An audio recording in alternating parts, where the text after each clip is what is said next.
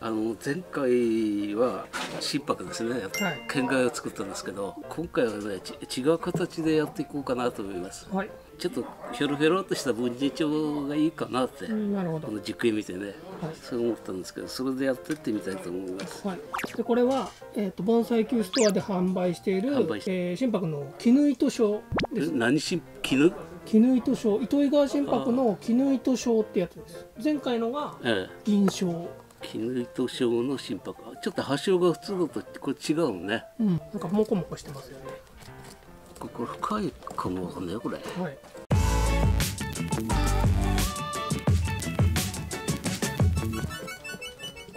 ちなみに先生これをもっとこプラスさんにいただいた心拍を先生が作ってきてくれたと。これ？あこれ。作ってくれた、うん、そうそうそう。去年いただいたねじ巻きねじ巻き心拍 のシャリ付けをしてきてくれたんで。なんかいいですよね、うん、ちょっと雰囲気が普通のと変わった形あの雰囲気かなっていう感じで、うん、まあ、ここはやっぱ人工的ですけどね、あのウォータースライダーそうそうそうそう。くるくるくるってきてね。これが特徴だから。なんかいい感じですね。これでね葉でちょっと隠すとまた違ったふうに見えるからこれ。ちょっとねもうちょっと葉っぱができてきたらこうやってちょっと隠していけば、うん、これあんまり目立たなくなると思う。水水がこれ2本あったんですけど内側の水水取りました。ここのね地につながってるんですよずっと。ここっちはもう内側の水水は役目してないんで全部取っちゃいましたあそこで枝あったんですか？枝は枝はないです。もう全部こここうずっとね枝を通らずにこれつながって一本で。昨日一昨日と雨がいっぱい降ってたでしょ。この時ねジン曲げんの。これがね雨でふやかれてきます。で柔らかくなるからこれで曲げられるんですよある程度。でこれもね知恵出てたやつ。それ立ててでこここうやって曲げてたんですよ。だから今で古い陣だと水含むと柔らかくなります。はいはい、その時ね人の加工できるなるほど、うん、そんなことできるんです、ね、それも覚えて覚えててもらっていいですよ今の時期2日ぐらい水雨でさらされるとね結構柔らかくなります。であとあの乾いたら固定させればいいです出荷接着剤で。なんでも流し込んじゃえば固定できますからね。すぐ針金取れる。という紹介でした、うん、新しい陣だとダメかもわかんないですけどね、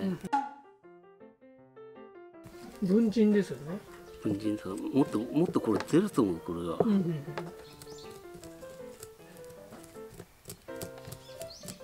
うんここですね足元、うん、で今までこんだけこの間あの土の中で埋まってましたからこれここからやっちゃうとあの植え替えた時にねここまっすぐだったらまた模様つけなくちゃいけないから、ね、必ずねここ足元見た方がいいですよ僕も一個文人っぽく作ったじゃないですか、うん、あれの足元が今心配になりました僕。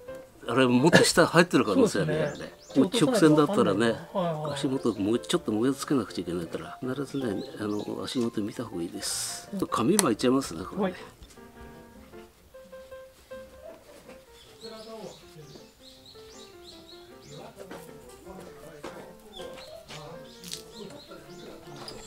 土がばらけないようにと根っこ乾かないように、はい。こうあの根巻き 根巻きしまい。根巻きを着てくれたと。庭木なんかこう周り掘って根回しするでしょ、あれと同じようです。じゃあこれから枝を抜いてきます、はい、こういう下向きの枝。下向いてるあと懐。こうね。懐枝ってからですか。のカーブのへこんでる方から出てる枝、はいはい、こっちは背中です、うん、お腹から出てる枝、はい、これはいらないですから。取ります。そう。下向きの枝。下向きの枝。これ。分離帳に作るんですからね。基本的には3分の2以下は枝いらないんですよね。いらない。だけどちょっと使える枝もあるかもわかんないで大雑把に抜いてきますから、はい、こうした内側から出てる枝、はい、難しい金でありそうだなこれ、うん、あと下の方に作るんだったらね、うん、もし枝あの作るんだったらもう食いつけたこうちょっとこう小さいのはあってもいいんですけどねこういう枝はありえないんですよね、うん、順調で作ってきますか、はい、3分の基本的な作り方3分の2まで枝落とします。3分の2ってこの辺この辺。より下の枝がいらないってこと、そう。この実これ二丁ですからあの線で見せる木ですよね、はい、線で幹の動き見せる木になりますから下の枝はあんまりいらないさ、はい、取ります。いろいろ絵とかなんか写真とかで、うん、あの比率ってありますよね、はい、これの文人帳の比率っていうのは、うん、この幹の太さこれの大体20倍ぐらいっていう話聞きました。幹の太さ？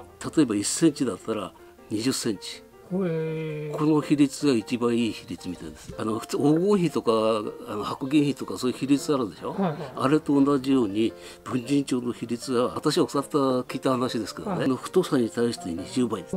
それが一番いい比率みたいです。確かにそうかもしれないですね、1センチだったら高20センチ、うん、もっと太ければもっとね高く。太くてちっちゃかったら文人じゃないですもんね、うん、そうそうそうそう。確かに。これはねまあいい話聞いたんですいい話を、ありがとうございます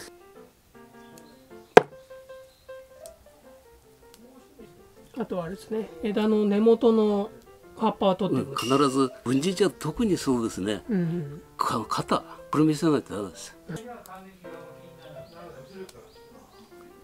っとこれ全部こう3分の2落とすと枝がほとんどこう使える枝がなくなってしまうんで、ちょっと下残しときます、うん、大体こんな感じ。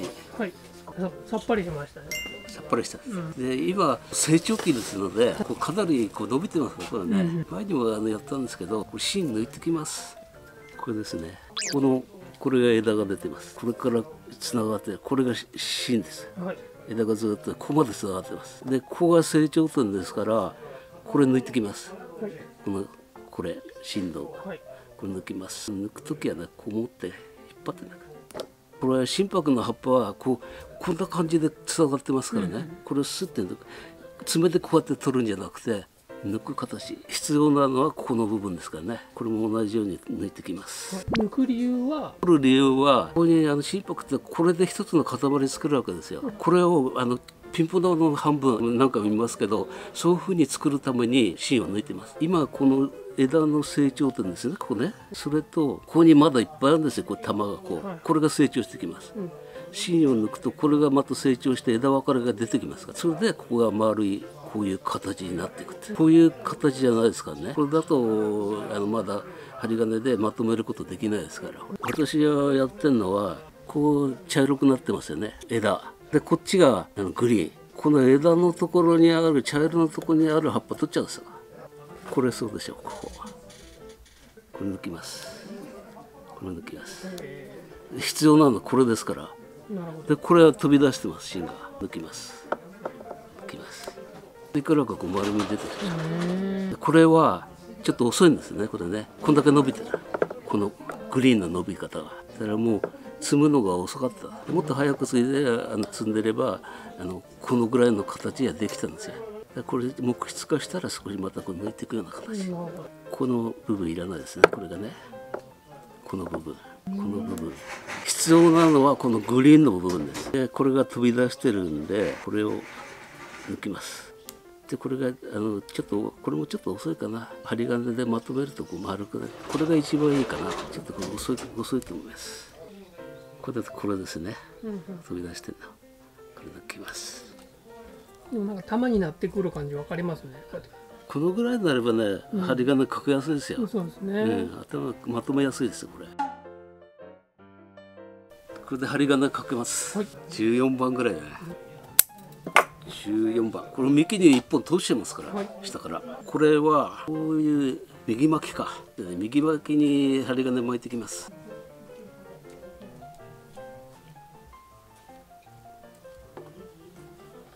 これね抜いちゃうと針金かくのが楽ですよこれ。抜いちゃうこの方が、これ自由になるから。先に枝抜いてるから、うん、よく見えて。これ整理しないとね。ね。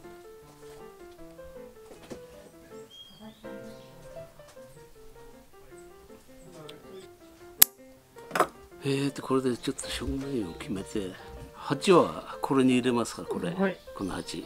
心拍は手泥の鉢はいいということです。手泥お茶入れる急須の色、ね、手泥これが合うんですよ、はい、このグリーンとの対比で、はい、これに入れてみましょうか。この辺は。これのが映える。この辺は好みがあると思いますけどね、まあでも手泥だとまあバチッとくる感じはします、ね、あんまりないんだよねこの手泥の味ってね、うん、最近ね、うん、やっぱりこれがいいと思う、うん。これずっと見るとここが模様入ってるんですこの間。これ立ち上がりちょっとまっすぐな感じですんでね。で、ね。うん、でここは模様がずっと入ってる。直線になってる。だからこうとこう立ち上がりの部分。これここはちょっとうまくいかないと思うけどね、うん、角度変えるかね。木傷めちゃうからなやるとね、うん、これでこの模様をそのままでこう少し模様つけていきます、はい、ちょっとこの太さになるとこう無理だなと思うけどね、うん、足元はちょっとね。ちょっとやめときます。冬ならまだ。うん冬ならね口思い切ってやっちゃうんだけど。そうですね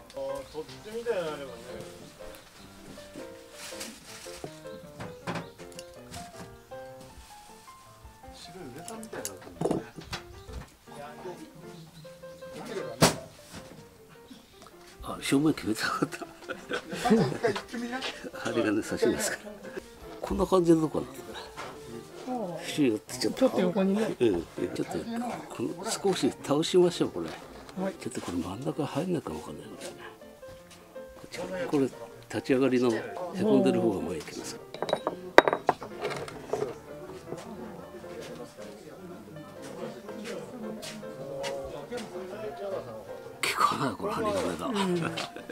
戻っちゃうね。もう一個入れるかこう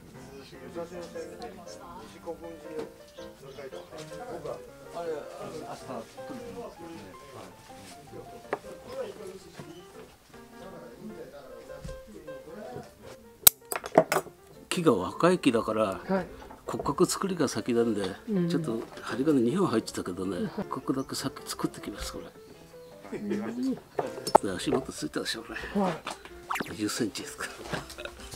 測る？20センチやったやつね。これ大体太さ。1センチぐらいかこれ。1センチぐらいですね。1センチ。高さ20センチで作ってみましょう粘りから20センチ。あここまでだ。結構高いんだうん。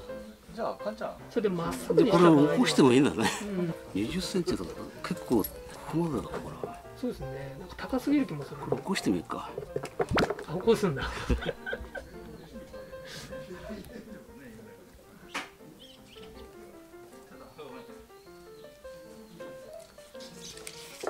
お疲れ様です。お疲れ様です。ぴったりだから。理想の理想の高さですね。できました。新しい作り方だな。じゃああとは枝の操作だね。はい。これで作ってきあと枝かけてきます、はい、ちょっと針金多くなっちゃうけどまず幹の質がこれでできた。枝は後で作れますからね。これは20番。20番かけます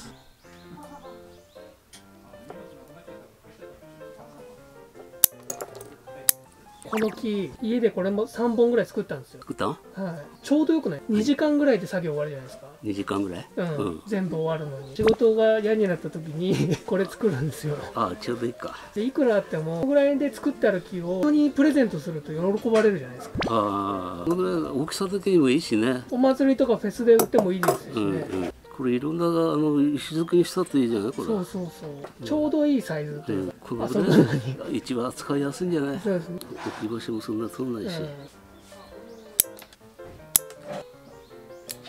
一二三四五十個ぐらいか、うん、分人にしては枝が多い、うん、ちょっと枝が多いけど少し多めに作ってきます。なるほど、うん、今日完成というよりはって感じです、ね、そうあの幹だけはちゃんとつけたからもう枝はこれから作っていかないね映り込みが。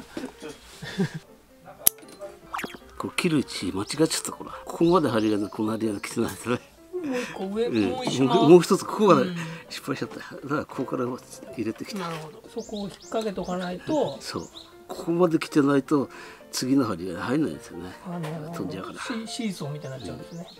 うんこれで枝の針金加工終わりました。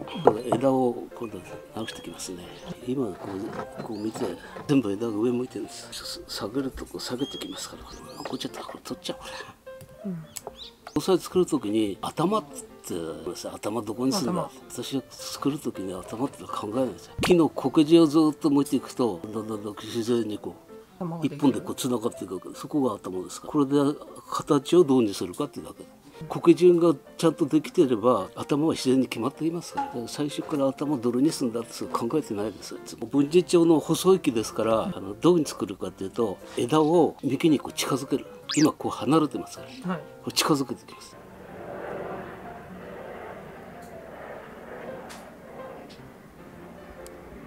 これずっと向いていくと、はい、これが枝の芯になりますかね。重心って言いますか、ここ全体で頭樹幹を作るような形になる、はい、樹心があって樹幹があって樹心があるってこれ木の芯。重重心重重心はわかります。樹幹はこう全体の重心でしょ？でこれ全体で頭を作るかって、うん、これが樹幹なんだ。これが樹幹で、うん、重心があって樹幹があって。そう枝があって枝順がある要はそこが頭ですここが頭ですね、これ地震ですから、樹幹っていうのはこれ3つで作ってもいいんですよここに、はいはい、芯はあるけど樹幹っていうのはこれ3つで作ってる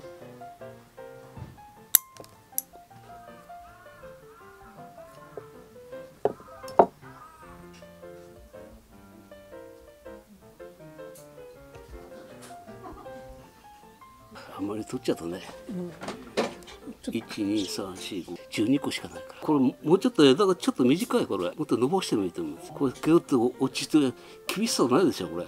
こういうのがこれなんかグワって伸びてくればこうガクって落としてもいいんです。この辺がちょっとできたかなっていう感じ。正面。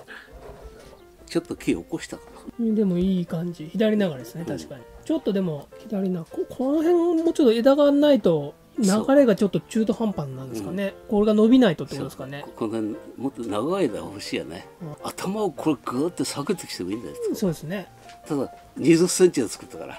今回は20センチで作ったから。下対20だからこう例えばこうこうして、うん。ぐわってこっちに、ね、向けてきてもいいし。そう厳しさ出ると思うけど。そうですね、うん、1対20を覚えてください、一応針金かけ終わったんで植え替えします。八、これ。種で、はい、一一や。一式じゃなかった。一一式。はい。っていう八です。シャリはねもうこれで作らんだ針金書いちゃったから。先に骨格作りが先ってこと骨格作りが先。シャリ作っちゃうとやっぱ曲げにくくなるんですか、ね、シャリつけるとね枝が抜けちゃうから。こう丸のうちに骨格作ってそれからシャリつけた方がいいこれねこうずっと一本でシャリ付けてくるどっか枝がなくなってくるから。そうですね、うん、だからあんまり切りすぎるとってことですね。枝があの必要な枝まで、あのシャリが入ってっちゃうからね。そうですね。最初はね枝をいっぱいつけといて骨格作った方がいいそれを知らなく考えてなくて、うんうん、家のやつはもう枝3本か4本しかないんですよ。まあ心拍だったらいいけどね。まあねまた出て出てくると思いますけど、うん、頭がなければ展示にすればいいんだから。そうですね。枝がいっぱいあるうちに骨格作った方がいいです、ね、で1年ぐらい経つと固まって枯れる枝も枯れてそれからシャリつければその方が間違いないと思います。そうですね。枝は落としすぎな方がいい、うん、そう。ここれだってそうですよ。シャリが1本だこっちのもう枝は入ってないんですよ。これつながってる、うん、2本あったんですけどね、はいはい、片方は行き道があったけど枝には全然つながってなかった。だからこれ全部剥いちゃった。骨格作ってからその後がいいです、なるほどでね今のこの若いうちにね根さばきしとくと髪の毛溶かすようにねここにやってくとあとは植え替えが楽ですよ。このこのまましとくまたこうぐちゃぐちゃってなってこう根さばきって言いますけどねこう溶かすようにこうに根っこさばいとくんですここに、そうするとあと植え替え非常に楽になります。買ってきた木で結構すごいのありますもんね、うん、根の形が。根っこがぐしゃってあぐらかいたりそういうのが多いと思うんですよ、若いうちそれやっとけばね、少し切りますねやっぱあんま切らない方がいいんですか？うん、あの心拍切んない方がいいです。シャリついてる心拍が切っちゃダメですよ。だって根っこなんかその行き道のそこから出てるだけなんだから。うんうん、入るな。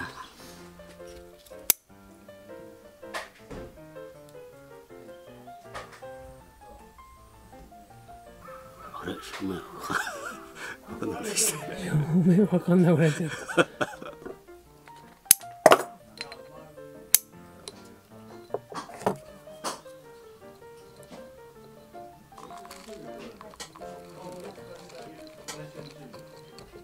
生この止め方よくやるじゃないですか。固形？固定。固定の仕方、うん、うん、これなんで今これやったんですか？簡単でしょこれ。縛れないこともないなこれね、うん、縛れるかなと思ってたから。うん、簡単だからだね。簡単だから。これは落ち着いたら取れるからね針金。が外せるから。あれ取っちゃうんですか？取っちゃう。取ってそのままでいいでしょ。そそれかこう邪魔だったらこの辺で切っちゃってもいいしね。下で。まあそれはね、よく見ますよねそういう止め方して。ある程度固まればね。固まればやっぱり固定してないとこうやって持つしてるからね。うん、そうやって回すんじゃない。こうやって持つからね。前私入った頃こうやって持ってて怒られた先生に。あそうですか。そんな持ち方すんじゃないって。みんなでもこうやって思ってますよね。10万円の鉢100万円の鉢やったらどうすんだよってことして。そうそうそうそう、まあ、自分で植えてるならまだわかりますけどね。そう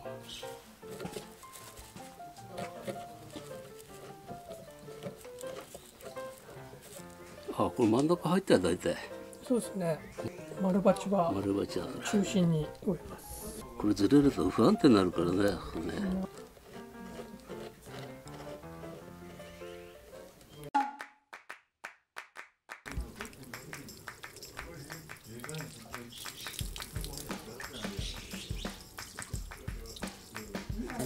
全部枝の肩全部見えてる、文人が特に肩見せないとね。で完成ですか？うん完成。あとはちょっと枝がみんな長さ同じなんだよ大体、いはい。もうちょっとこう強弱つけて。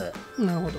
この辺の枝この辺かな？これがグーッと下がってもいいし、ん。そういう枝が欲しいねであと枝分かれがないでしょこれ。はいはい。もう1個だけだから。枝がこういうとこまた出てくれば、うん。もっとあの棚がうん。ピッてってことが来てまだこう芽が1個だからね全部ね。大きくてもいいかなって大きくてもいいです一応2 0センチの差がたけど、うん。このうん芽の大きさがこれが2個3個になってくるとと棚がうまく作れないかもわかんない。確かにそうですね。枝をまあ作っていくっていうのとそう。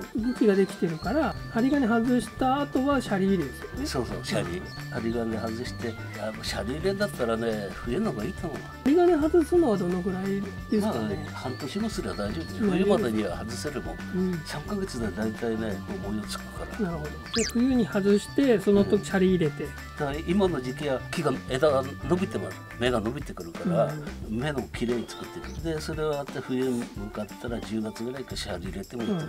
こんなわけで2作目完了ということですね、ね。えー皆様もぜひお買い求めください、これはね ここにこになりますからね、はい。